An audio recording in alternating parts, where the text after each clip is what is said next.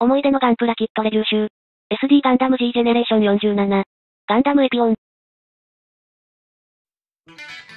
アフターコロニー195年、オズ総帥、トレイズ・クシュリナーダは、ロームフェラ財団が推進するモビルドールに反感を抱いたことにより、総帥の座から退き、ルクセンブルグに幽閉されることになった。しかし、彼は密かに5機のガンダムを研究し、敗者になるためのガンダム、ガンダムエピオンを完成させ、彼の前に現れたヒーローゆえに託すのであった。んなん、嘘っぱちだー。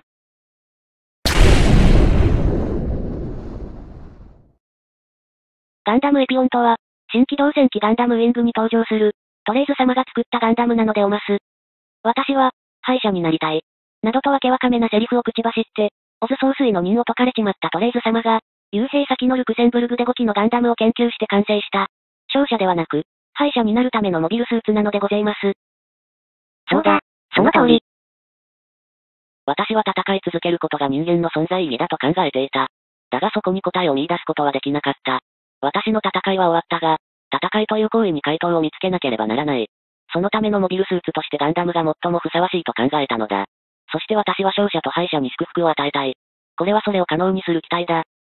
ヒーローゆえ、一つだけ忠告しておく。その期待に乗って勝者となってはならない。ガンダムエピオンは兵器ではないのだ。君が敗者として帰還することを望む。ヒーロー、私を殺すまでは勝手に死ぬことを許可しない。なんつって、戦いの意味を見失ったヒーローにエピオンを託すトレイズ様。なんという、なんという言葉の暴力。このセリフに、日本のみならず全米の不女子が泣いた。もだえ、転がり、言葉にならないおたけびを上げ、その時の感動を決して忘れまいと。いやあんな感じの薄い本を書きまくったものだと人の言う。大神オーディンもご承覧あれ。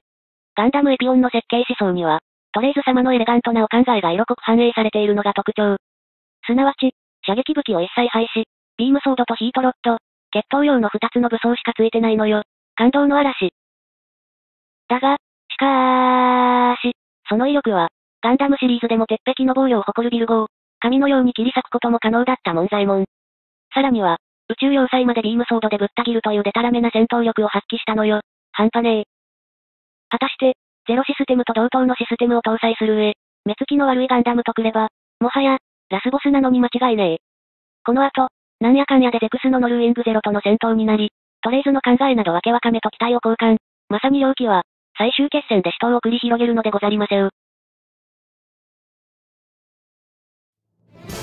時は2000年、SD ガンダムシリーズから、ガンダムウィング関連のキットが多数発売されて話題となる。ゼロカスは BB 戦士で、5機のガンダムにトールギス、そしてガンダムエピオンは G ジェネレーションで発売されて好評を博し、ボーナスプラモデルがもらえるキャンペーンでは、キットを大量に買い込む大きなお兄さんの姿が散見されたという。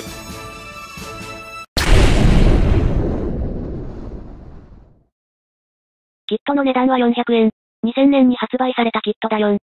SD ガンダム G ジェネレーションシリーズの中盤以降、共通ポリパーツを使用して、新規金型で作られたキットの一つで、ガンダムエピオンのキットとしては貴重ながら、BB 戦士よりもざっくりした作りがいやあんな感じのキットなのでございます。その、通り。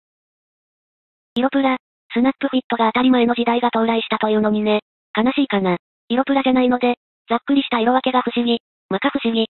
当然ながら、色が足りない部分はシールを貼って再現する仕様で、特に、フェイスの白が再現されてないのは致命的かと思いやす。とはいえ、これまでの BB 戦士が持つ愛らしいイメージを踏襲している点や、当時の BB 戦士よりも安めの値段が交換され、しかも同時期にキャンペーンもあったりしたもんで、ガキンチョのみならず、大きなお兄さんにも概ね好評だったりした問題。武器は少なく、ビームソードとヒートロッドだけなのよ。ビームソードは、ワンパーツで小豆色なので用塗装というしょっぱい仕様。ヒートロッドは可動部分が2箇所存在し、バード形態への変形時に尻尾になるのでございやす。そうだよそうだよソースだよ。このキットの売りは、バード形態への変形なのだよ初見さん。そのためウィングやエピオンクローも基部で稼働し、各部をばらして差し替えることでバード形態へと変形するのが素敵、素敵すぎ。とはいえ、パッと見、あんましかっこよくない上、バード形態でのバランスもいまいち。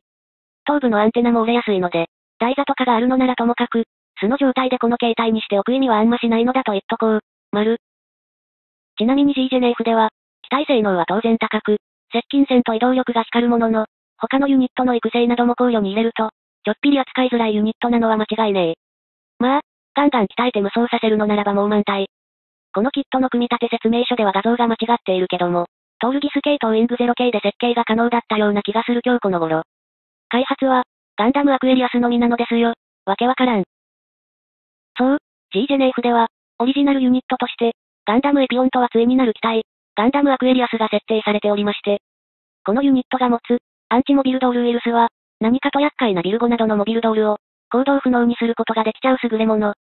その間に、ガンダムエピオンが友人の指揮官機を撃破するというパネー設定だったりするのだけども、ゲームでのエピオンの性能ならば、多数のビルゴを相手にするのも難しくはないのよみなの衆。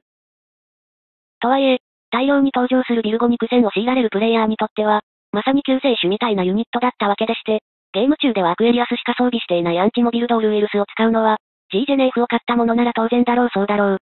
ビルゴを行動不能にした瞬間は感動ものだったぜ。てな感じで感動した巷のプレイヤーも存在し、地味ながら記憶に残るユニットとして君臨したのは語り草。何気に、G ジェネシリーズでキット化されておりまして、ガンダムエピオンと並べて飾る方々も少なくない数が存在したのよ。まあ素敵。とにもかくにも、10年は夢のよう。100年は夢また夢。すでに世代が変わってガンダムウィング系は、古参モデラーの領域だと言われ、若い衆には馴染みが薄いのが普通なのよな。しかし、海外勢にとって、ガンダムウィングこそファーストガンダム。一部、いやあんな部分が編集されたとはいえ、海外勢に衝撃を与えたというのは紛れもない事実で、たまに、あちらの有名人の口からガンダムウィング好きでしたとか、世も末な発言があったりするのよ。これ本当？それゆえに、輸出を重視するバンダイさんとしても、極めて優先度が高いシリーズなのでござんすよ。はい。そんなもん、わかるかーい。